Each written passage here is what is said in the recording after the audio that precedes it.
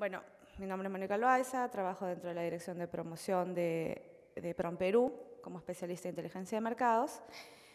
Y mm, bueno, quiero comenzar hablándoles, bueno, dándoles un poco de información general, aunque Milagros ya se los adelantó. ¿no? Eh, el EFTA, sale de frente, ¿no? Ya lo mencionó Milagros, el EFTA está conformado por cuatro mercados, pueden ubicar dentro del mapa, ¿no? Islandia, Noruega, Suiza y Liechtenstein, que está, bueno, es un mercado muy pequeñito. Eh,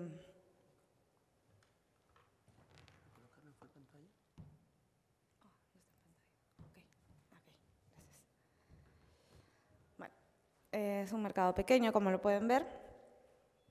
Eh, todos están dentro de Europa. Perfecto. Ahora, eh, estos mercados, si bien están dentro de Europa, no forman parte de la comunidad europea. Sin embargo, muchas de las normas y leyes que ellos tienen o poseen, eh, sobre todo para acceso al mercado, se rigen en base a lo que puede dictaminar la comunidad europea, que eso lo van a ver más adelante con Claudia seguramente. Pasando a lo que es el perfil del consumidor en sí, eh, hay diferentes formas de definir un perfil de consumidor. En el caso particular, de acuerdo a la experiencia que tengo, lo puedo definir a través de cuatro factores o características. Primero están las características demográficas, valga decir la población, datos de la población, mortalidad, natalidad, eh, grupos etarios las económicas, ¿no? muy importantes para nosotros, sobre todo que queremos vender un producto, las tecnológicas, ¿no? cuánto tiempo eh, están las personas en promedio eh, utilizando Internet, y el estilo de vida en sí. Comenzamos con las características demográficas. ¿no? En general, eh, este bloque, como pueden ver, cuenta con incluso menos de la población que cuenta el Perú, pero es una población que tiene mucho dinero. Es decir, que puede pagar, darse el lujo de pagar un precio alto para un producto, siempre y cuando cumplan con ciertos estándares de calidad. Eh, si pueden ver, la expectativa de vida está en un promedio de los 80 años. Sin embargo, el crecimiento de la población en algunos casos sí sobrepasa el 1%. ¿Qué quiere decir esto? Eh, o en conclusión, ¿qué podemos sacar de esto? No? Que es una población que está envejeciendo rápidamente ¿no? y que por ende en unos 5 o 10 años van a necesitar productos eh, que cubran las necesidades de una población mayor. ¿no? Entonces eso hay que tener en cuenta eh, en estos casos. Ya vamos sacando por ahí algún tipo de conclusión analizando estos datos. En el caso de las características económicas, como ya lo mencioné, son economías que tienen un ingreso promedio anual bastante alto, ¿no? como ven, eh, bordeando los 50 mil dólares. Eh, es unas economías que han tenido un buen crecimiento a pesar de la crisis eh, europea que se ha dado en los últimos años, ¿no? han sabido sobrellevarla y en algunos casos tienen la inflación hasta negativa, ¿no? Quiere decir que los precios en lugar de aumentar han disminuido, porque eh, tienen un buen uso de sus recursos. En cuanto al uso de la tecnología, mm, eh, acá hablamos un poco, bueno, esto ya es algo globalizado, ¿no? El, el uso de las redes sociales, Facebook, Twitter, Instagram, Snapchat, etcétera, está bastante expandido. Es por ello que muchas empresas utilizan estos medios ya para hacer su publicidad, promoción, ¿no? Y se ha visto también el incremento de las compras online a través de Internet, es decir, sea desde la PC, desde una laptop, desde una tablet o desde el celular. ¿no? Es un uso que ya está muy utilizado porque porque es mucho más fácil y es mucho más cómodo realizarlo, ya no hay tiempo, la vida es muy agitada, la vida es muy... Eh, eh, mm, mm, eh, es, corto, necesitamos ahorrar tiempo, entonces las personas ya no tienen la necesidad de ir hasta un centro comercial, hasta una tienda y con un clic hacen la compra y ya llega a su domicilio, ¿verdad? Y finalmente, en cuanto al estilo de vida, ya enmarcamos eh, un poco de las otras tres características dentro de esta. ¿no? Son, como lo dije, son eh, consumidores que tienen una alta apreciación por productos de calidad. Pueden pagar el precio, no hay ningún problema, eh, pero tienen que cumplir con los estándares que ellos requieren. El precio es importante, pero eh, digamos que entre precio y calidad, la calidad es lo que va a primar. Hay un incremento de demanda de productos convenientes, quiere decir, como los comenté hace un momento, el estilo de vida es muy agitado, no hay tiempo, no sé, para cocinar, para, para hacer preparaciones diversas, ¿no? prefiero que ya todo esté 15 minutos al horno, me voy a la ducha, regreso y ya está, ¿no? Una cosa así. Eh, demanda de, productos sostenibles, sostenibles socialmente, sostenibles con el medio ambiente. Eh, eso también saben que puede incrementar el precio, pero no hay ningún problema, ellos lo pagan, ¿no? Siempre que se cumpla con, con lo que ellos requieran. Eh, ahí he puesto también la asimilación de productos exóticos. Como lo comenté en una de las primeras diapositivas, es una población que se está avejentando. Vale decir que hay, eh, están requiriendo mano de obra de otros países más joven, por ende, esas personas que vienen de otros países eh, traen consigo sus costumbres. Y es por eso que ellos van probando, digamos, este, sabores, están abiertos a probar nuevos sabores, sobre todo hablando en cuestión de alimentos.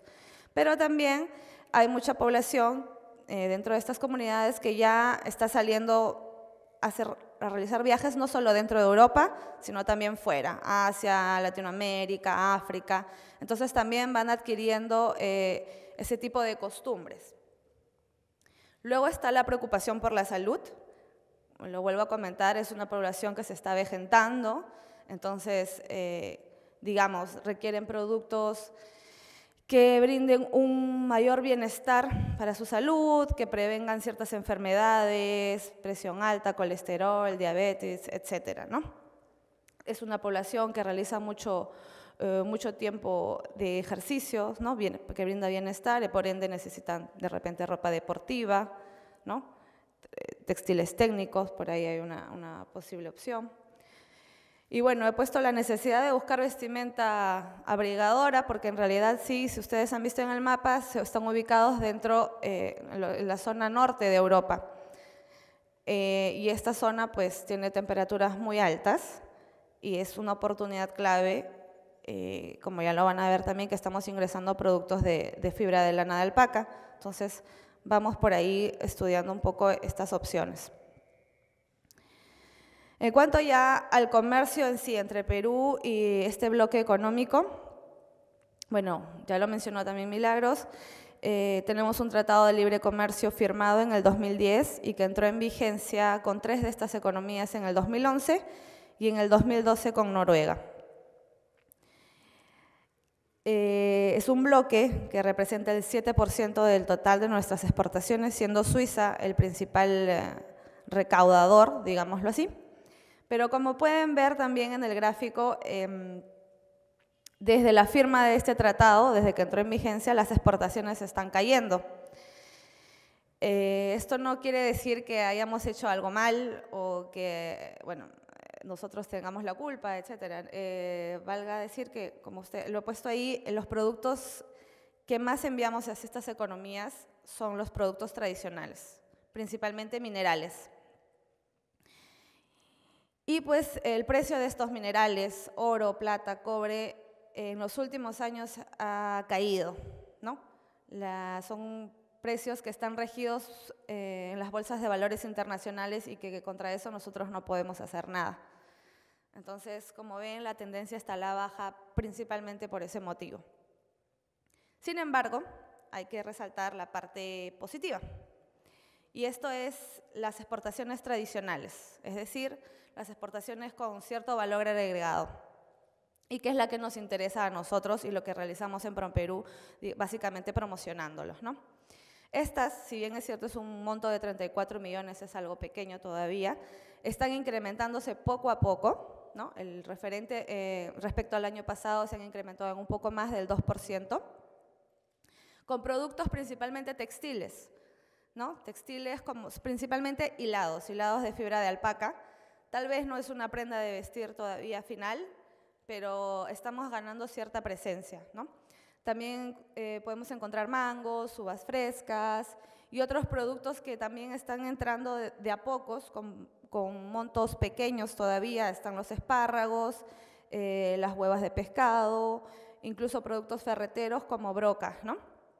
Entonces, hay oportunidades, estamos ingresando poco, eh, estamos empezando a perder el miedo aparentemente, entonces es algo positivo. En esta parte de comercio potencial, eh, un poco les explico esto. Esto trata de decirnos, el monto que está ahí referencial viene a ser el monto que, importaría en este bloque del Perú, si es que dejara de comprar al mundo, y lo que Perú les vendería a este bloque si es que dejara de exportar al resto del mundo. Es, más o menos esa es la analogía. Y como ven, pues solamente ha listado creo que 15 o 20 productos, en realidad es una lista mucho más grande, pero sectores diversos, ¿no? Desde textiles, prendas de vestir, eh, cobre refinado, uvas, eh, frisos para parquet, joyería, ¿no? Productos diversos hay. Ahora, el cómo y el a quién ya depende de nosotros, de ustedes, los empresarios o los potenciales eh, exportadores. ¿no? Ya para terminar, eh, quería mostrarle acá eh, productos finalizados, terminados, que se venden dentro de estos mercados al consumidor final, en los cuales se utilizan insumos, no necesariamente son peruanos, pero que nosotros tenemos dentro de nuestra oferta exportable. ¿no? Tenemos snacks como el mango deshidratado, o los arilos de granada también deshidratados, ¿no? Para comer mientras eh, está trabajando, está caminando por la calle, qué sé yo. Les hablaba de los productos convenientes, hay una tarta de langostinos ahí lista para ir al horno, mix de quinoa con salsa de mango, barras de cereales, mermeladas, harina de maca y productos textiles diversos. Entonces, les vuelvo a repetir, las oportunidades existen, están ahí, solo hay que saber cómo llegar y hay que cumplir con ciertos requisitos, ¿verdad? Y finalmente les quería presentar esta web. Supongo que, bueno, creo que ya todos la conocen, ¿no? Eh, nuestro CISEX, nuestro portal de, eh, información, dentro del cual se encuentra el portal de inteligencia de mercados, que es la subdirección bajo la cual yo trabajo, y en donde pueden encontrar información diversa para su uso. Tenemos diversidad de documentos desde revista, boletines, informes especializados, infografías, etcétera. En sí, mucha información de valor que les puede servir a ustedes para tal vez animarse a dar un primer paso a exportar o conocer un poco más algún mercado a fondo. Con esto acabo. Muchísimas gracias y dejo a mi compañera que continúe. Gracias.